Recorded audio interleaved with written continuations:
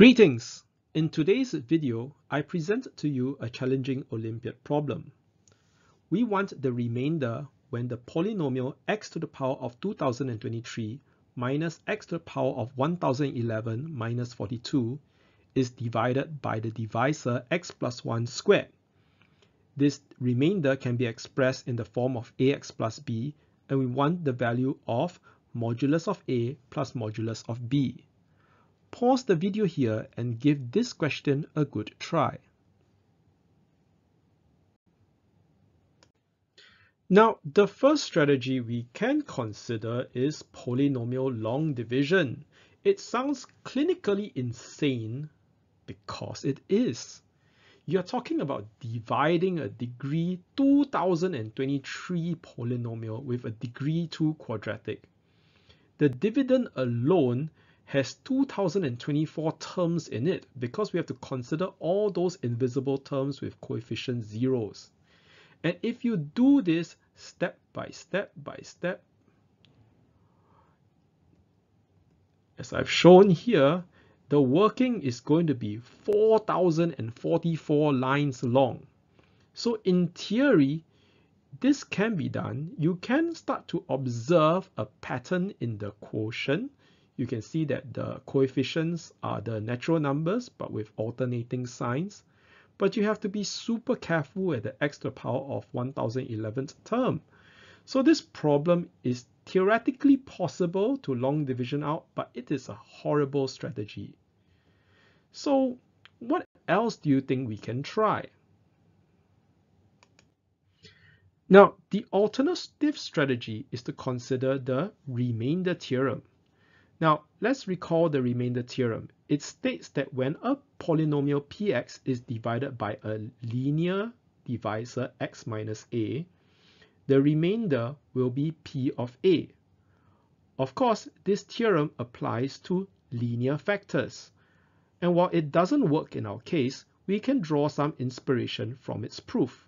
And the proof is as follows. We can express any polynomial in the form of dividend equals to divisor times some quotient polynomial qx plus the remainder r. By substituting x equals to a, we'll set the divisor x minus a to be 0, hence the remainder will be p of a.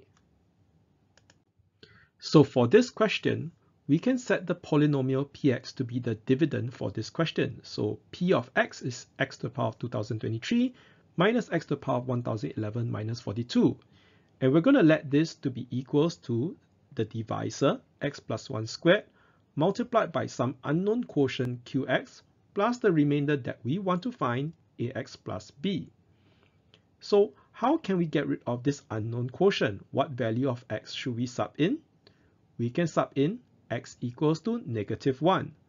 So when we sub this in, the dividend will become negative 1 to the power of 2023, which is still negative 1, minus negative 1 to the power of 1011, which is still negative 1, minus 42.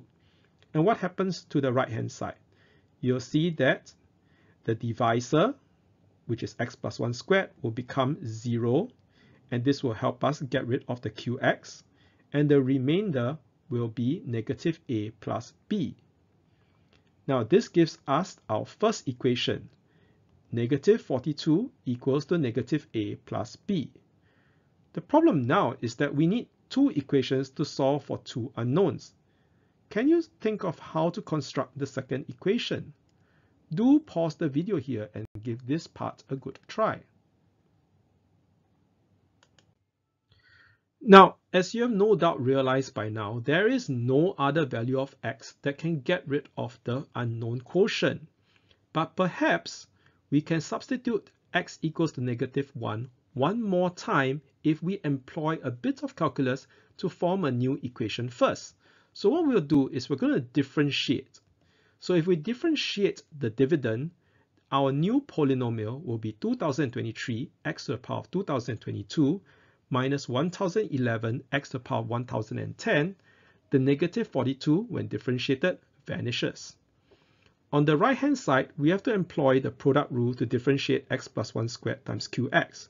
So When we differentiate x plus 1 squared, we'll get 2x plus 1 multiplied by the qx.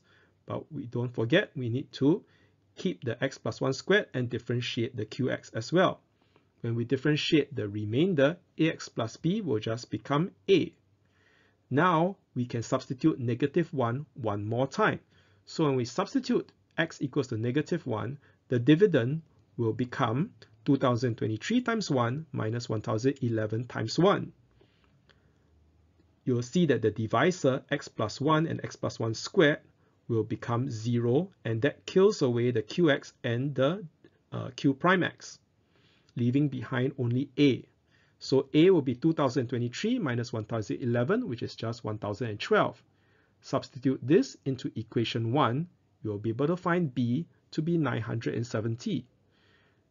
Hence, the thing that we want to find, modulus of a plus modulus of b, is just 1012 plus 970, and our final answer will be 1982. Well, I hope you enjoyed this fun little question. Do subscribe to the channel for more math content. Thank you and have a great day of learning.